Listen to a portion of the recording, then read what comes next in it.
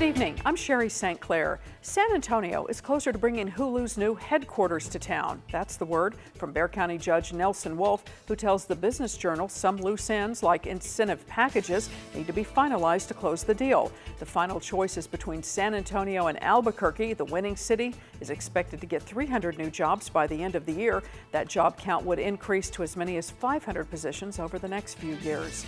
Restrictions on smoking in the city limits could be revised to include all parks and trail systems.